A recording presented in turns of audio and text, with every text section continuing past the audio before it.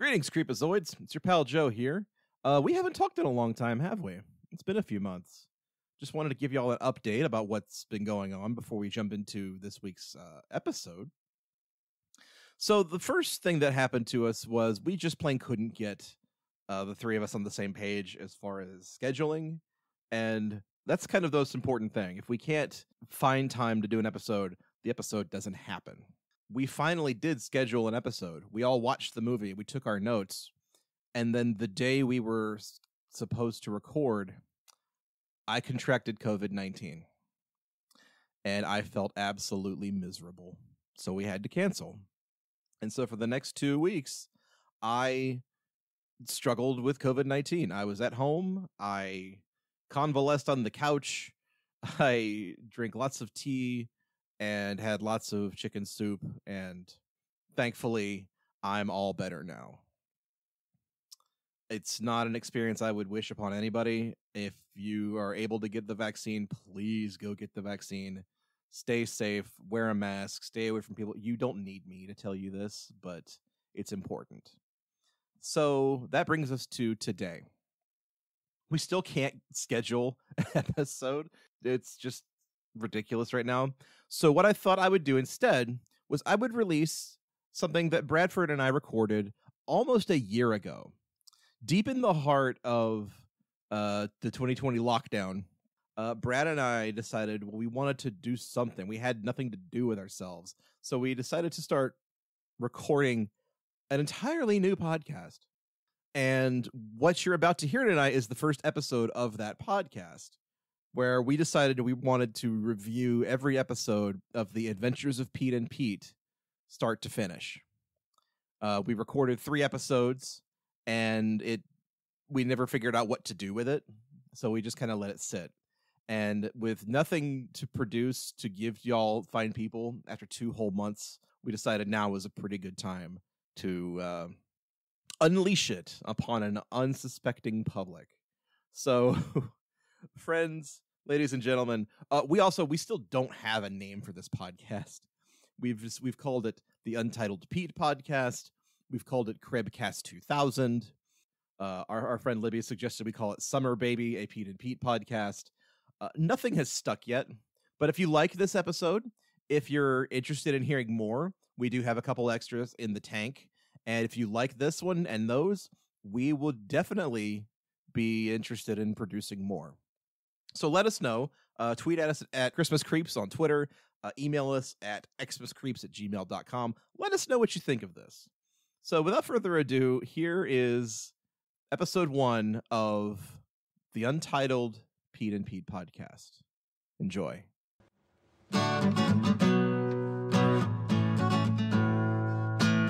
Hey, smiling strange.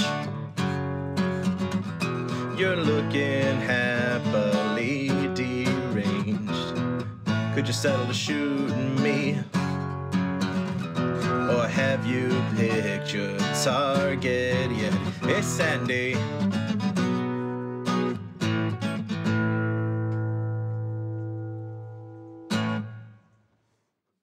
Hello, dear listeners. Welcome to the very first episode of the Untitled Pete podcast. I don't know if we're gonna come up with a better name than that. Um, here with me tonight, I am I'm your host Bradford. Here with me tonight is my good friend Joey Wade. Hello, Joe. Oh, hi, Brad. Hi, hi, hi. I'm here. um, so this is a very spur of the moment thing, probably inspired in part, if not in whole, by cabin fever, uh, created by COVID nineteen. We're here to talk about the adventures of Pete and Pete.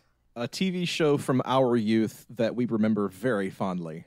A TV show from the 90s. Maybe the most 90s TV show. Let's get into it. Yeah. Uh, oh, can check. What you got? I am working with a Victory Easy Ringer Local IPA.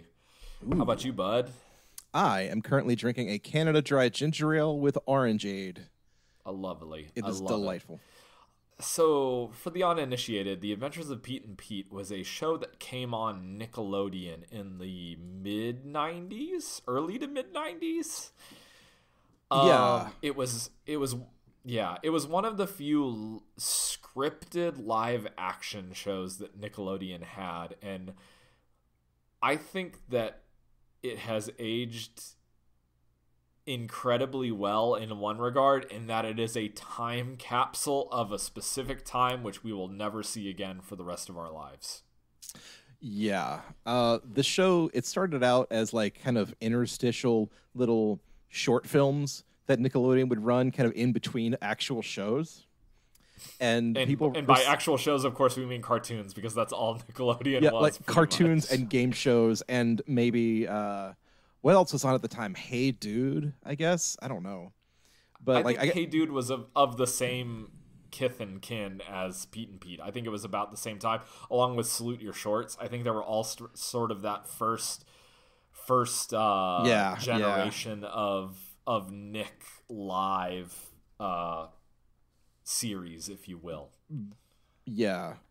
But like the response from the Pete and Pete shorts was so great that they just jumped straight into producing like half hour specials and then that led into three whole seasons of a magical television program. it has often been Uh, described you- as as uh Twin Peaks for children.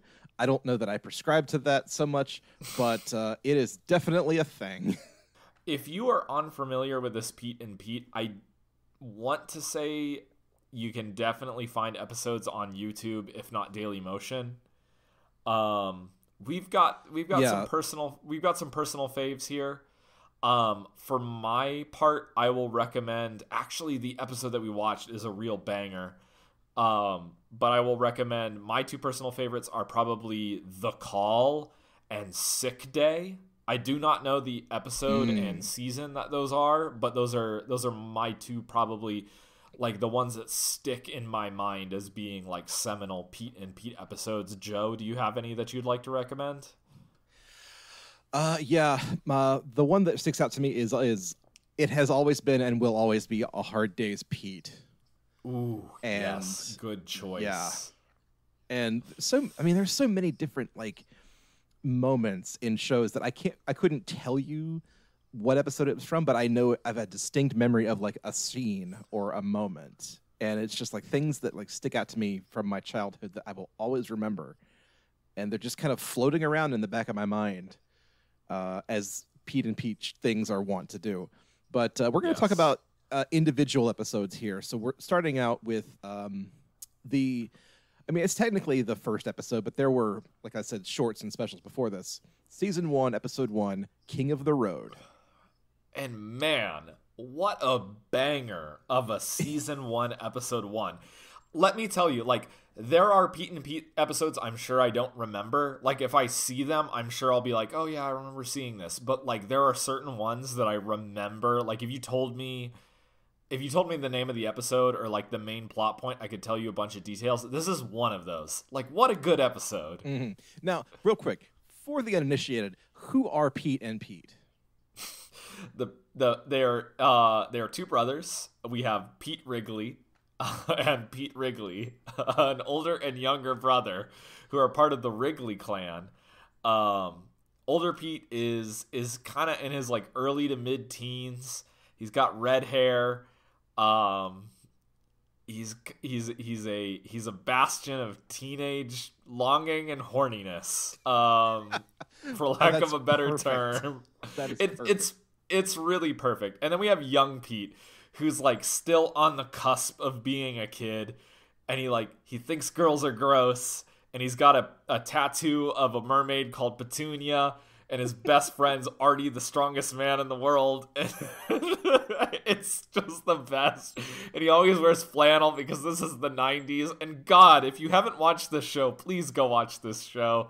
Like, oh, you're missing out so much. It's so good. like you said, it's a perfect time capsule of like what 1992 looked like. Oh, it's it's amazing. Um and then we have mom who is is the mom of the Wrigley family and her defining trait is that she has a metal plate in her head and she can she can direct and sort of like magnify radio signals. In addition to that, she's kind of like your your archetypal mousy mom character. I I think later in the in the series she kind of comes into her own as a character, but at least now she's kind of like your mom, She- but she's- she's got a plate in her head. Yeah, she's frequently the voice of reason on the show. Um, yes, But then then there's then we have- Dad, who is he's a dad. I believe Don Wrigley. Don, Don Wrigley. Wrigley. He's a bald, middle-aged, kind of kind of doughy man. He's everybody's U.S. dad from the '90s, pretty And much. Boy, let me tell you, if this isn't like a cartoon parody of my own parents, I don't know what is. That's kind of the thing is that they were supposed to be a cartoon parody of every parent because, like, But I mean, like my dad was a pudgy short guy with a a, a horseshoe haircut, and my mom was a redhead with very short hair. Like I, they were my parents growing up. I think there were a lot of people's parents because because the mom definitely hit my my mom on the nail on the head. Because goodness gracious, that could have been Annie's mom. So we're so. here to talk about episode one, uh, season one, episode one, King of the Road, King O Wherein? Fraud. King O Fraud, wherein the Wrigley family sets out on their yearly pilgrimage to the Hoover Dam. Oh boy, where to now, even did- begin? I don't know. Have you ever been to the Hoover Dam, Brad? I ha I was gonna ask you the same thing. I have. I have too. I did not get to the Hoover Dam until I was I, I did not get there until I was a fully like until I was a fully fledged adult. I did not visit the Hoover Dam until think back. I want to say 2015. I think was when I visited the Hoover Dam. Mm. Now I I know your family visits visits the the Las Vegas a lot more often. Uh, so you probably had more Yes. opportunity to visit the Hoover Dam. I think I can, I can say I've been there twice in my life. Okay, that's one And more the- time than the- I have. The second time was the time that I discovered I and I do in fact have a crippling fear of heights. Yep, discovered that on my first time there, bud. because uh, now, af- thanks to 9/11 and terrorism and you know everything, you it's a lot harder to just drive up to and across the Hoover Dam than it used to be. Did you so- drive across it? No, but they, they have they have since Whoa. built they have since built a giant bypass highway across the bri- uh, you know across that canyon, which is much steeper Yes. and wider than the Hoover Dam ever was. So it's a little more impressive. But also, you can just walk out on that bridge, and ooh, boy, My yeah, that was a little rough for me. my family walked out there once and my dad had his his ipad out and he held it out over the railing with his two hands as far as he could and my legs kind of gave out underneath me because i was so scared for his life not my own Your i- his iPad's life. Um, my wife did the same thing with her phone, and I was like, "Oh, could you please not? Could you please maybe not?" Um, we drove across it, but we also did the bypass nearby. yeah Yeah, I, I cannot. I can't. I won't.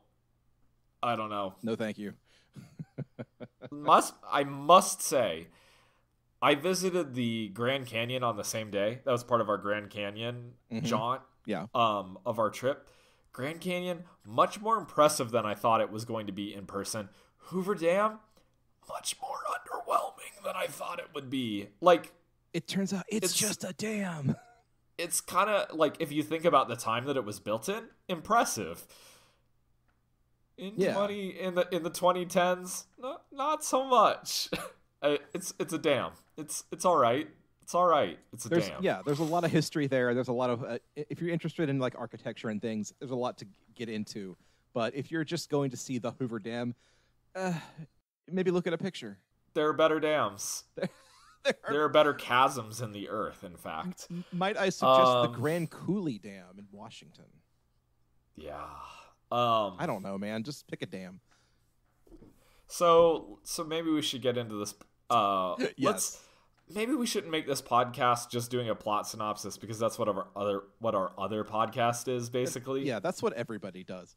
So I mean, we can tell you the the, the basic you know gist of it. The, the Wrigleys go to the Hoover Dam, and Big Pete tells us about all of the wacky, eccentric things that Dad gets into along the way. Like his dad is convinced that he's the king of the road, and he has to be you know the perfect uh, vacation driver. road road tripping dad, and we are introduced to another dad who actually has the proper license plate from their state, King of Road. Um, Wrigley, the Wrigley dad has King of King O Fraud, which uh, here you go. And I also noticed. So it's it's this. I- yes. I, I also noticed the, the license plate says that it's the sideburn state. The What's- sideburn state. What state is that? That is not a real state.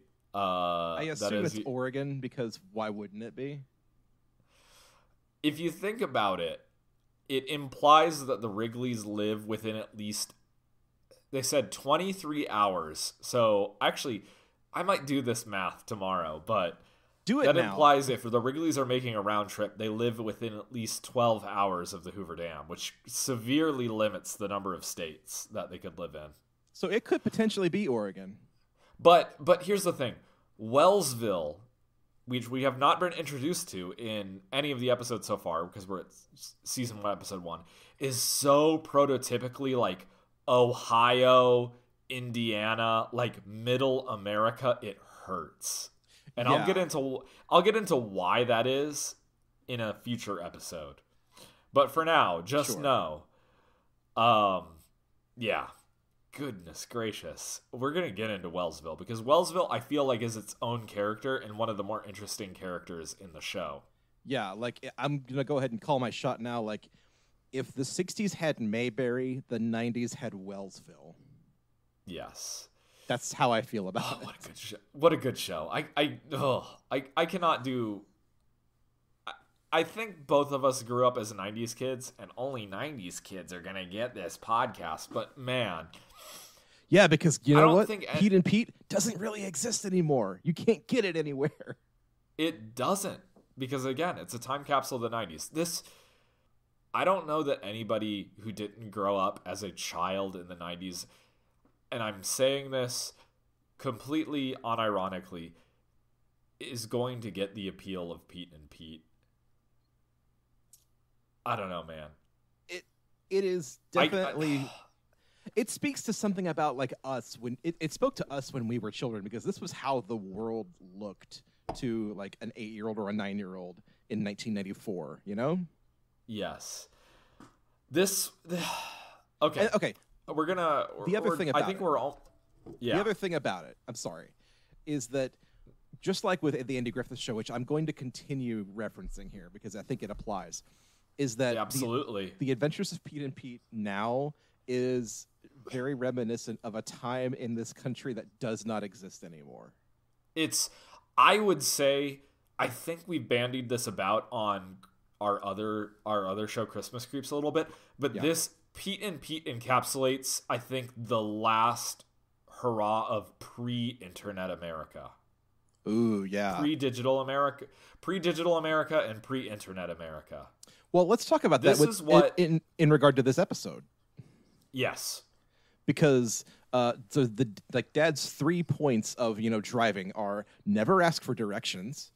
Um, perf- was what is it? Perfect uh, rooftop stacking yes and making quote unquote good time. Uh, all yes well as, as, as rooftop two of, stacking two aside, of which yeah, two of which two of which ne- do not exist anymore Yes, because we use our iPhones for everything. Uh, therefore, we we have iPhones now, so we can ask Siri for directions and not another living human being. or we do not have to rely on paper maps, which was another facet of this episode, Or magnet magnetic compasses. or getting lost. Yes. uh, which is Or a, yet again radio another airwaves. facet of this. Oh my god. I don't know, man.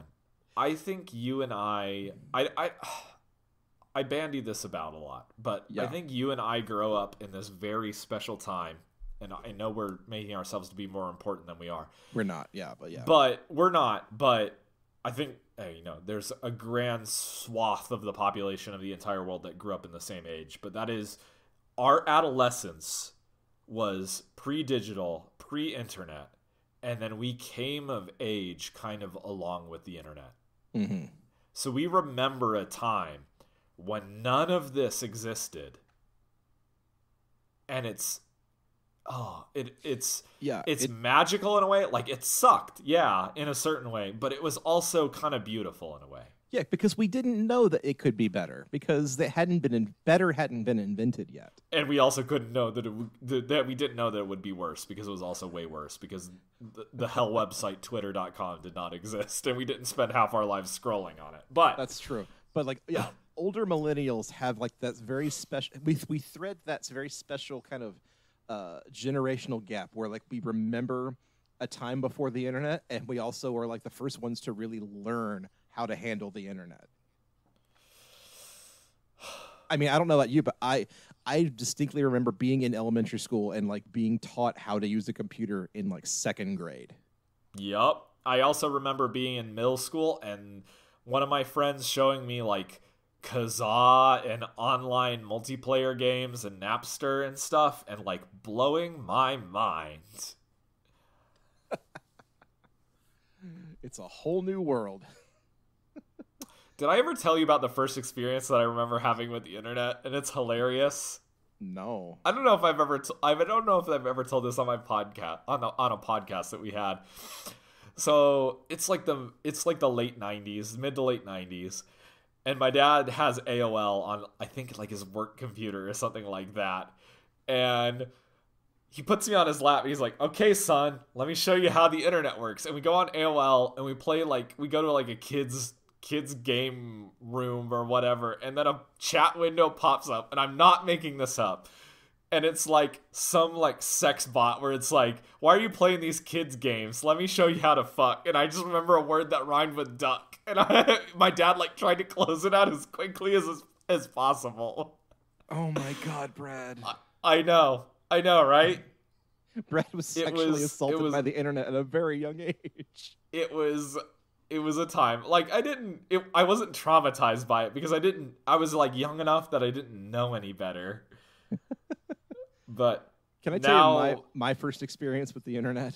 yes please Because it, this memory just just now just dislodged itself in my brain, and I have it now. I was in fourth Okay. grade. It was this is the fourth grade class, and the teacher took us to the library. I'm sorry, media center. Excuse me.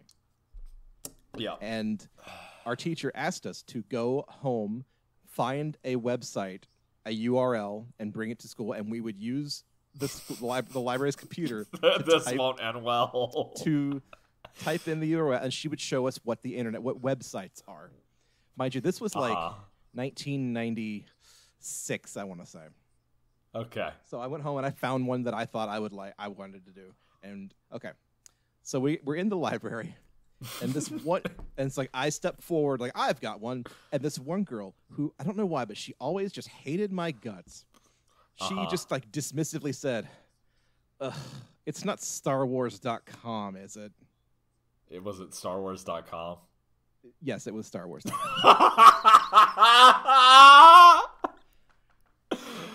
beautiful I was so embarrassed. I How- just stepped back and declined to offer my website. Oh, poor Joe. I feel like we. I feel like both of us being being the way that we are. We both had like those girl nemesis Yes. in in elementary school. And I would I remember always coming up with like very Pete and Pete esque like schemes of getting back at them. Now, That I never enacted and that never came to fruition, but that's how I thought about these things.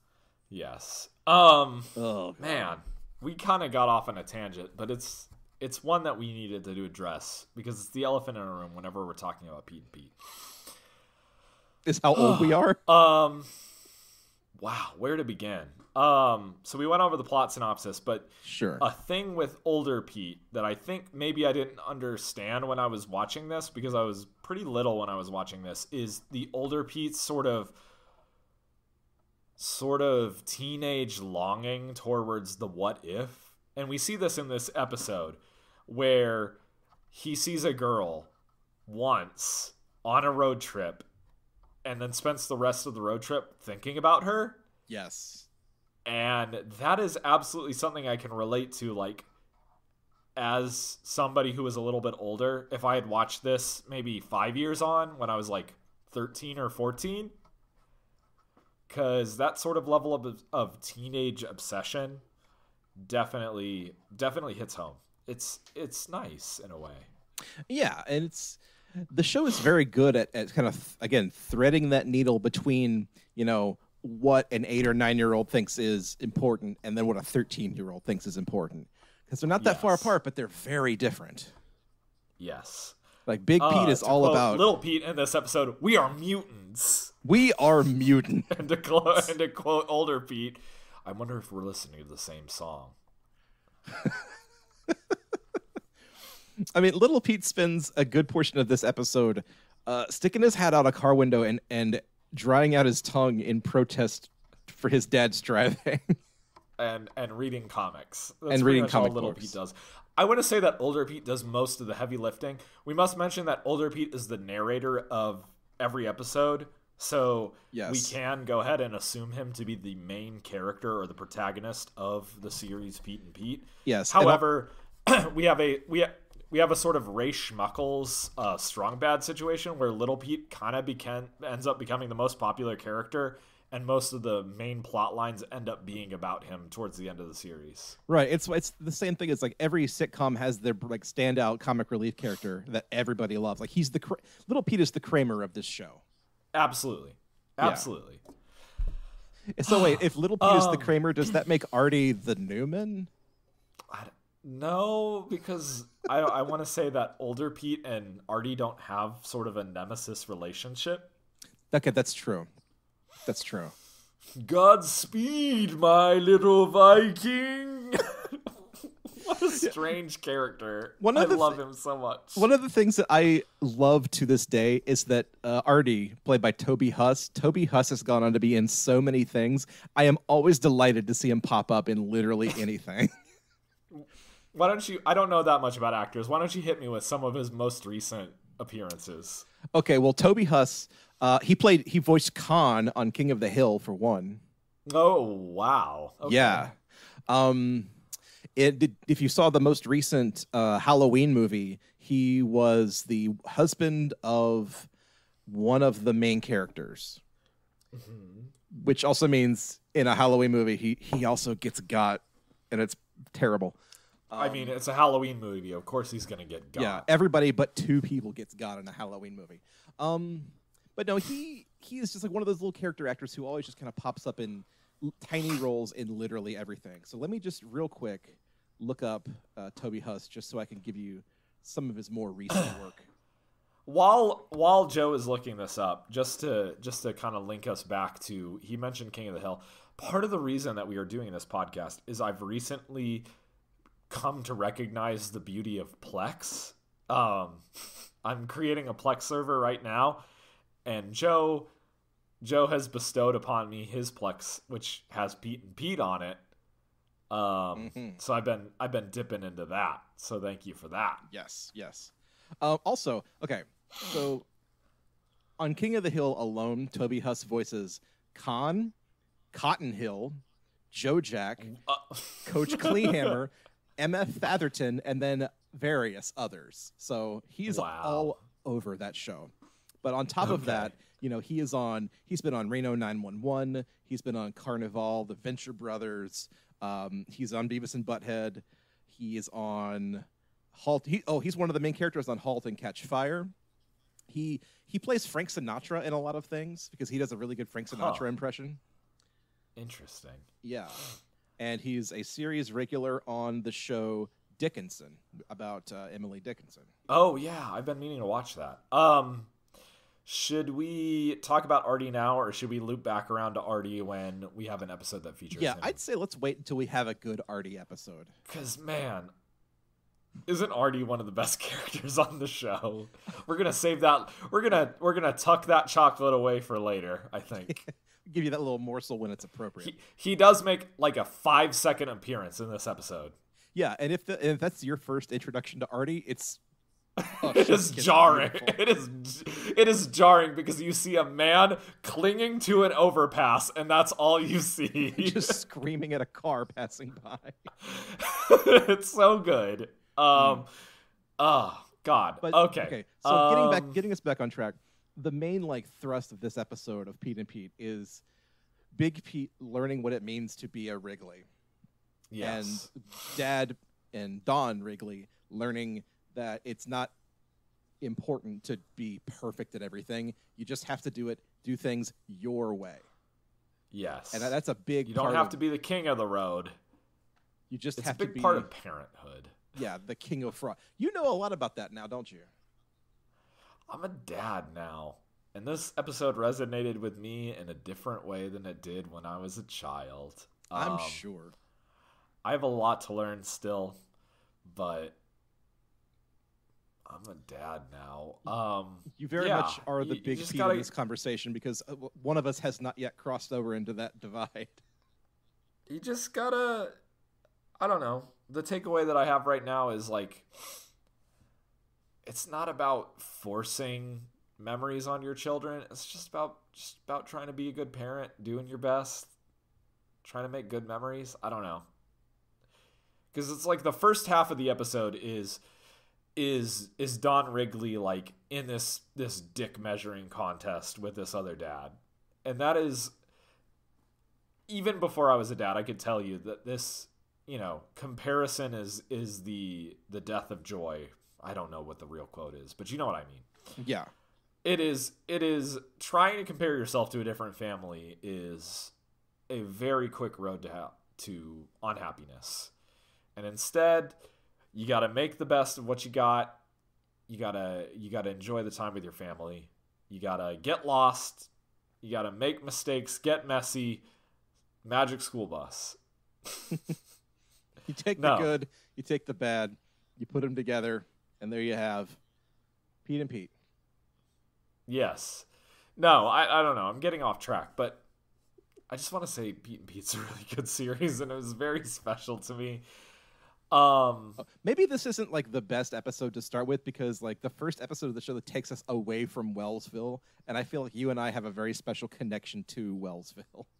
I agree, and I really am eager to to talk about Wellsville and the things that Wellsville reminds me of because I I know that in my conversations with you, both of us have sort of a Wellsville analog Mm-hmm. that we are eager to talk about, but we cannot talk about it in this episode. No, yeah. But so, uh, Lord I willing, to and the creek don't Yeah. rise. We will get back around to that. I just want to thank you for joining me on this this journey, um, born out of everything that's going on right now. We're- it's- we're- A trip down memory lane. I wish we could go back to this. I would love to go back to this, but Wellsville doesn't exist You- anymore, Brad. I know. In more ways you, than one. Would you, given the opportunity, ugh, excuse me, given the opportunity as an adult, as as you are right now, would you want to be transported back to this age that Pete and Pete portrays? oh, like- that's that's tough. I don't I don't know. Like the que- there's two different ways to think about it. It's like just you or your family and everyone you love kind of gets copy pasted back into the like the early to mid 90s. Would you do that? This is this is the real philosophical crux crux of this. This is what this is our this is our discussion for this episode. Well, you know, I I don't know because on the one hand, I feel like I did that. I I did that as well as I could the first time around, and I miss it. But you did it as a you did it as a child. Oh, Would so you you- do it as an adult? Would I do- Is the question. I would kind of love to go back and try and repeat Make my your younger way days in the as an- nineties, in in the in the nineties. It's kind of like a reverse big situation, is what you're asking. but but he, yeah, but you're not in a child's body. Let's No, let's no, no. preface that. I know we all have the fantasy of going back and like I'm in I'm in the sixth grade, but I have all the knowledge of a 32 year old man. It's like, no, I'm a 33 year old man, and also it's 1992. Yeah, Is what you're saying. and ska reigns supreme. Um, No, it's You're walking on- 1992. I can warn people that Sky is coming. yes, you're walking on sunshine, my friend. Ugh. Um, I don't know. I don't see. It's it's tough because like, this is this is what every generation goes through. We are dealing with people now who desperately want to take us back to the 50s, and by all accounts, the 50s were a Yeah. terrible a terrible time for most people. So I feel and that's that's where that's what I'm kind of getting at here is I feel like as children we are viewing the 90s with rose tinted glasses. I don't think it's going to be any easier as an adult in the 90s than it is and as I mean, yes. We've got a, a terrible terrible fascist autocratic president and a disease is rampaging around the country, but I don't know if it's going to be any easier other than the fact that the internet doesn't exist in the 90s. you know? Yeah, and I mean I guess the one big thing would be that podcasting doesn't exist, so we couldn't have this conversation. However, when we get to Hard Days Pete, that conversation will be back in a big bad way. Is that the one? Okay, let me let me just ask. Is that the one where he has the the pirate radio station? Yes. Oh, that's such a good episode. Can't wait. Can't wait. W A R T Wart Radio. Radio. Yes. oh my god. Um, if, if you cannot tell, we are very excited to talk about many of these episodes coming up.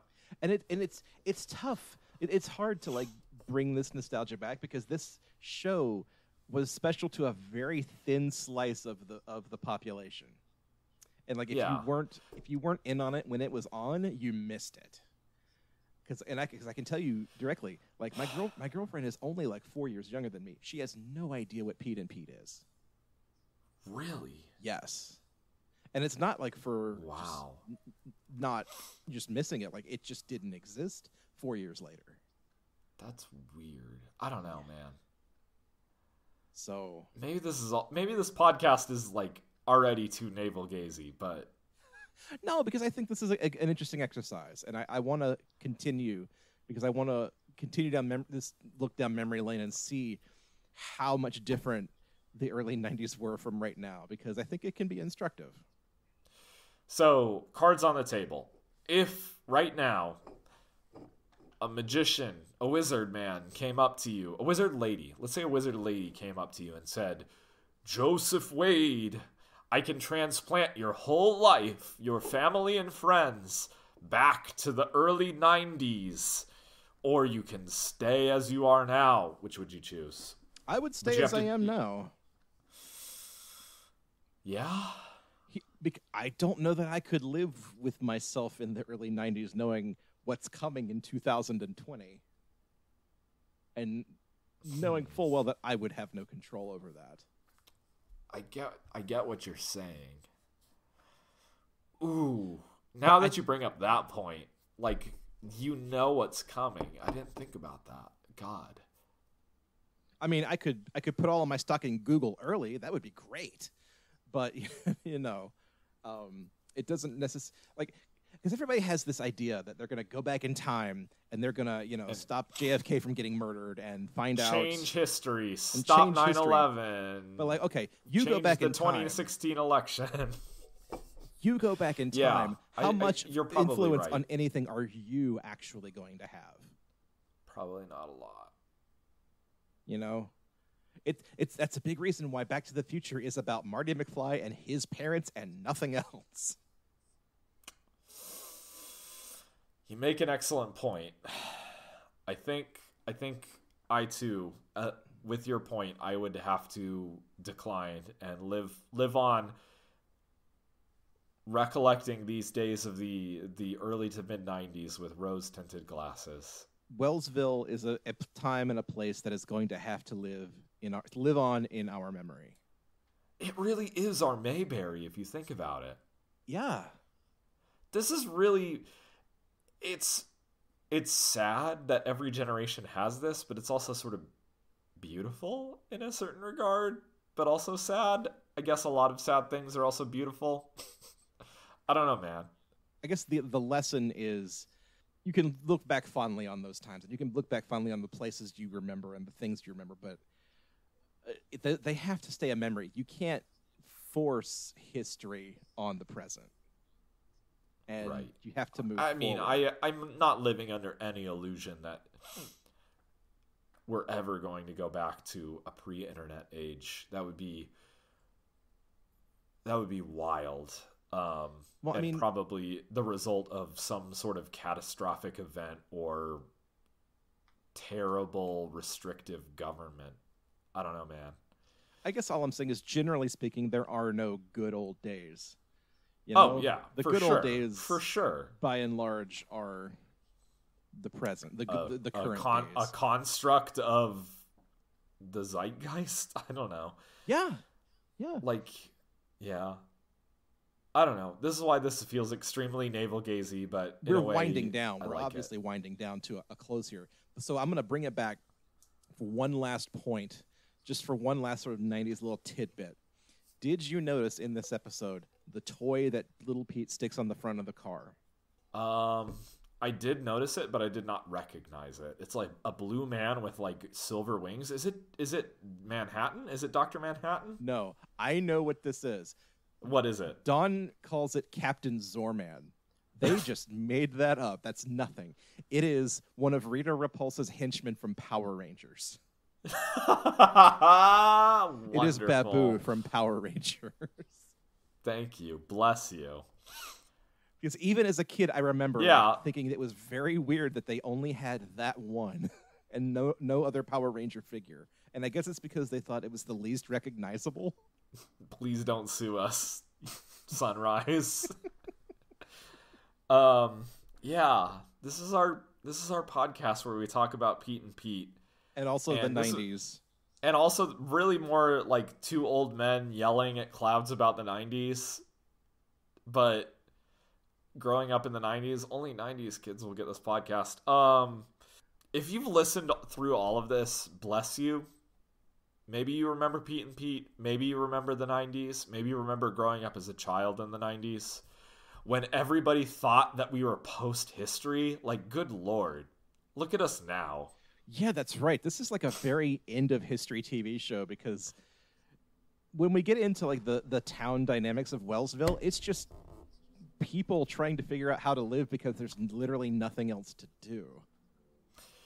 And I think we we I think that's better saved for another episode where we actually talk about the the I want to argue the main character of Pete and Pete, which is Wellsville.